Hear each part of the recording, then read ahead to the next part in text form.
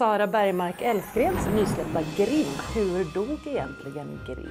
Nu har du trasslat in det lite för långt. Är det här krystat eller är det så här ungdomar pratar med varandra? Det är ju svinäckligt att gå runt med en ruttnande kråka men det är också lite gulligt.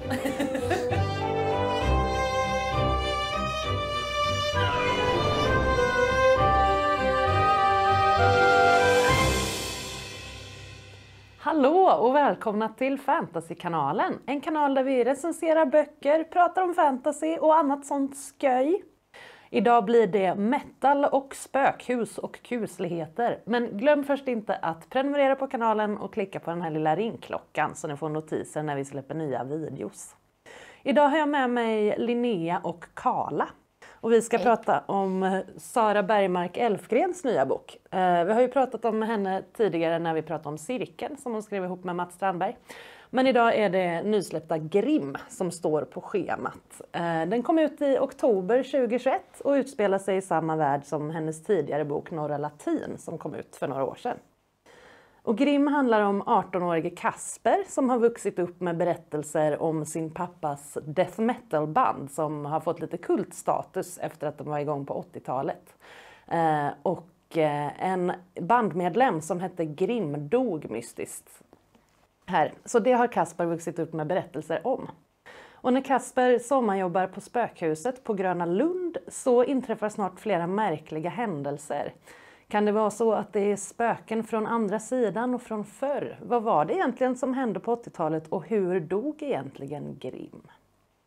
Ja, vad säger vi om det här Linnea? Vad tycker du? Är det läskigt? Är det kusligt? Är det metaligt?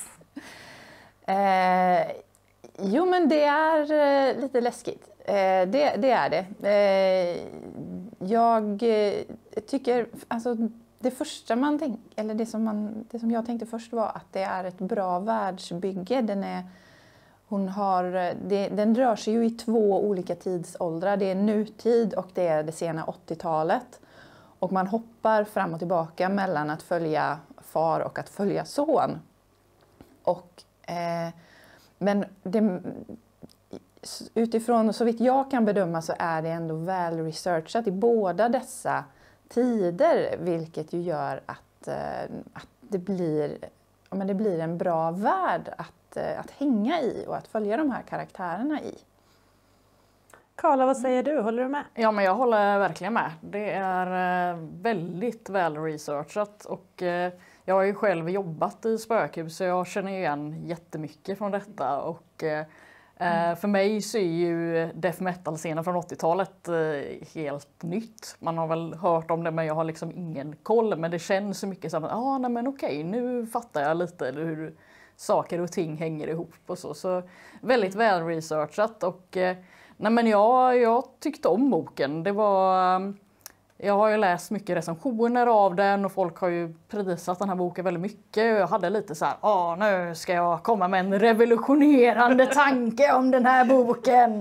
Eh, men eh, jag var också väldigt positiv till boken och eh, tycker liksom om det här att det är lite så här gotisk spänning och Stockholmsromantik som möter lite så här diskbänksrealism. Liksom. Vill du förklara diskbänksrealism lite mer? Hon har ett uttrycket. Eh, väldigt, vad ska jag säga, väldigt rättframt eh, sätt att skriva på. Det är ändå liksom, när det är, framförallt när det är Kaspers perspektiv så är det väldigt här och nu och väldigt så här, ja, det känns som att hon inte skyr och liksom skildra saker som de är och även liksom saker, liksom, eh, saker som är liksom fula tankar och sånt som man kanske, kanske inte eh, vill snudda riktigt vid och sånt kan jag mm. uppleva att hon är. Ja, absolut. Ja. Där håller jag med. För en, en, eh, ett perspektiv som finns i den här boken är ju eh, depression och att må dåligt. Och där är det ju alltså det, i, i, i många böcker, särskilt inom fantasygenren, så ska det ju vara en, en jagad ung karaktär som finner sig själv. Men det, den här gången så beskrivs det här, de, det här att må dåligt beskrivs ändå på ett realistiskt sätt som, som gör ja, men det blir en trovärdig, trovärdiga huvudkaraktärer. Mm. att, och det, det är att hon inte backar för att beskriva hur, hur, man faktiskt, hur tankar kan vara när man mår dåligt. Ja, för hon har ju varit mycket inne på det i tidigare böcker också, i Cirkeln och i Norra Latin och så. Mm. Men jag tycker att det är väldigt mycket mer nyanserat i den här mm. boken på något sätt än vad jag upplevt att det ja. varit tidigare. Hon har fortfarande hanterat det bra tidigare men jag tycker mm. att det är liksom, det får ett litet nytt djup i den här boken ja. på något vis. Ja, men det är en nyanserad ja. beskrivning ja. och det, det uppskattar jag att få läsa om för att det är väldigt många karaktärer, väldigt många böcker som har det lite väl lätt för att vara riktigt realistiska människor. Även mm. när de har det svårt så har de det lite för lätt. Men det verkar som att ni är inne på, ja, men som du säger, väl researchat, det känns realistiskt. Liksom. Uh, hur, hur, bidrar språket till det här? För det rör ju sig både mellan nutid och 80-tal som du var inne på Linnea. Hur funkar det tycker ni? Det, de använder, eller hon använder ett författartekniskt grepp i och med att hon eh, beskriver dåtiden i presens. Alltså in, dåtiden skrivs i nutid, de gör det här, de går dit. Medan nutiden beskrivs i dåtid, mm. att Kasper gick dit och Kasper gjorde det här. Eh, och speciellt det, grepp det är, lite, det är ett speciellt grepp men jag, jag tycker att det blir intressant. Vad, vad det gör är att det hjälper mig som läsare att skilja på vilken ung man är det jag följer just nu. Mm. Är det Kasper eller är det hans pappa? Eh, så jag tycker att det greppet, för mig så funkade det greppet. Eh, och var på, blev liksom en grammatisk hjälp att hålla koll på vilken storyline det är jag följer just nu. För det blir ju två parallella berättelser som går genom boken men ändå då vävs ihop.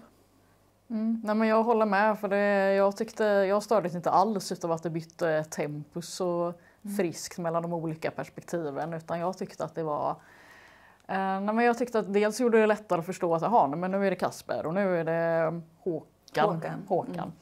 Eh, och, eh, och, så, och sen så tyckte jag att det var rätt kul att det blev lite, för det är ju mm. inte bara att det är så här, ja nu följer vi Håkan och nu följer vi Kasper utan det är också att de blandar friskt med att ja, men här kommer en intervju med bandet från 80-talet mm. och här kommer en gammal annons så att det blir ett litet så här som eh, läsare så får man pussla lite. Ja. Så här och liksom, ja nej men är det så här det hänger ihop? Var den mm. detaljen mm. viktig som jag läste i intervjun i början? Mm. av boken och sånt. Att det är rätt, det blir ganska interaktivt med läsaren ja. vilket jag tycker är väldigt kul. Ja, det är roligt. Det, det, ändå så störde jag mig bitvis på det där för jag, och, jag inser ju att hon måste ju lägga upp boken på det sättet för att det ska bli en spännande berättelse. Man kan inte ge oss allting från början. Mm. Men lite blir det också så här att bara, men sluta tjafsa, bara skriv det rakt fram. Men då blir det inte en spännande skräckhistoria om man förstår allting från början. Så att jag förstår ju varför, men bitvis så kunde jag bli lite så här, nu har du trasslat in det lite för långt. Och sen så är det, eh, jag tänker dialogen, den är ju väldigt eh, när karaktärerna tänker och det är deras känsloliv så är det väldigt rättframt. Och sen så är det dialogen ska ju ändå skildra både ungdomar idag och ungdomar eh, på, ja, i Stockholm på 80-talet. Mm. Eh, och jag kan alltid bli så här att är det här författarens försök att gestalta hur ungdomar pratar eller är det jag som inte är en ungdom längre, som inte förstår hur ungdomar pratar och att det är därför det skaver. Men det är alltid så att jag blir så här frågasättande att är det här krystat eller är det så här ungdomar pratar med varandra? Hur pratar ni? Kommentera i kommentarerna. Eh, så det är sånt som jag funderar på men det störde mig inte så mycket utan det är mer att jag alltid blir det när jag läser att oh, är det så här det ser Dialog är svårt ja, att skriva. Det, det, ja. det, är många författare som har svårt. Det, det är en svår del i, ja. i konsten. Men det här, i den här boken har vi också en manlig huvudperson. Det mm. behöver inte vara så speciellt egentligen men det var ganska länge sedan vi pratade om en bok med en manlig huvudperson. Hur funkar Kasper tycker ni? Och spelar det, spelar det någon roll att han är man jämfört med andra böcker vi har pratat om på kanalen? Det är ganska vanligt med unga kvinnor i huvudroller i, i fantasy en sak som tas upp i boken väldigt mycket är ju den här skillnaden mellan show och verklighet. Att de här banden skapade ju en mytbildning runt sig själva och det får man ju se lite i den här boken på ett väldigt bra och bitvis väldigt roligt sätt hur de jobbar med sin image kring det här death metal-bandet. Men samtidigt så var det ju också så att i den här scenen så fanns det på 80-talet fanns det flera unga män som, som mådde väldigt dåligt och som inte förmådde hantera det på ett sätt som gjorde att de kom levande ur.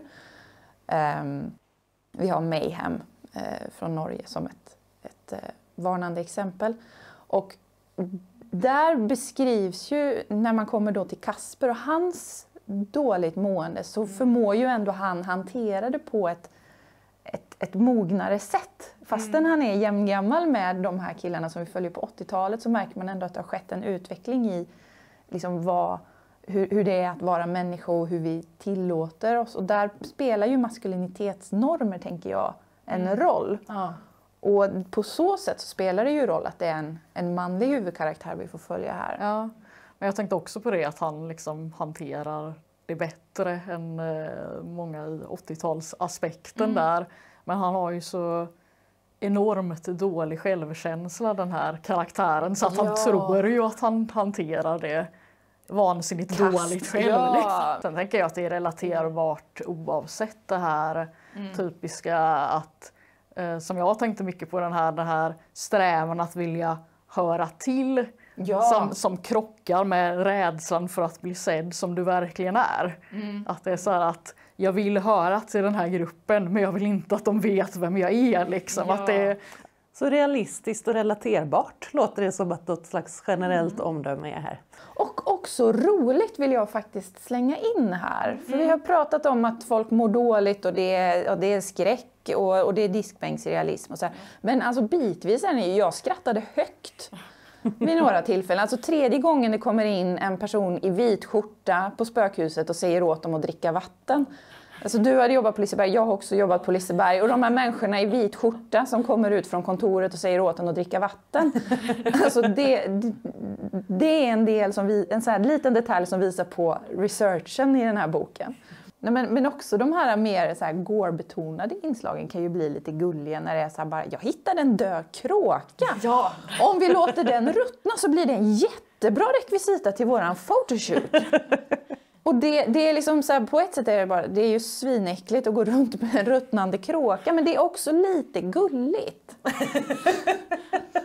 Jag var lite mer så här, nej, det är den där döda kråkan som är tillbaka nu igen. Men det kan ni citera oss på tycker jag. Döda kråkor, gulligt. Inte bara gulligt. Men, nej men, ja, men att det blir så realistiskt ja, beskrivet hur man bygger upp den här mm. situationen, den här myten, den här bilden. Men om vi snackar betyg då. Jag tänker att vi ger betyg i death metal-spöken idag av uppenbara skäl. Men 1 till 5, Karla, vad tror du? Eh, ja, eh, jag tror nog att det blir en fyra. Den var väldigt väl researchad, eh, både för sånt som var bekant för mig och sånt som var helt nytt för mig kändes som att eh, ja, men jag fick en inblick i death metal 80-talsvärlden. Eh, och eh, så tycker jag även att eh, just att det var så bra skildrat alla liksom väldigt rättframt med känslor och med eh, psykisk ohälsa och sånt på ett sätt som var liksom relaterbart för alla som läser den. Eh, så ja, nej, men det blir en klar fyra där. Kul! Vad tycker du Linnea? Ja, um, ja men det här blir också en fyra eh, faktiskt. För just, och det är mycket på grund av researchen. Alltså, och eh, att den är, alltså det är en välresearchad bok.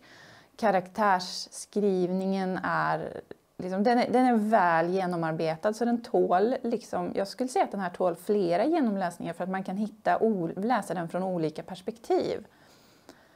Eh, så, så det stannar jag på. Mm. Fyra. Så en klar fyra för Grim alltså. Vad tycker du om ruttnande kråkor? Det är jag väldigt nyfiken på vem, vem som vinner den här fighten. Är det gulligt som Linnea tycker eller äckligt som Karla tycker? Kommentera, gör en omröstning, jag vill veta.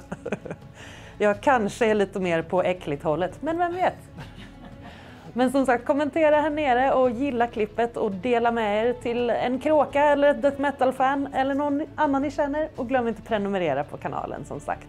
Ha det bra tills nästa gång!